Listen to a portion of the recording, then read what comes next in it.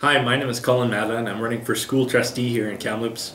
I'd love for you to support me. What I would like to do is, first of all, support families who have kids with learning challenges. I would love to build strong relationships with teachers and administrators, and I would really like to introduce and encourage the use of open education resources, which are a great way to encourage high quality teaching in an environmentally and fiscally sustainable manner. So come November 15th, I'd love for your support. Colin Madland for school trustee. Thanks very much.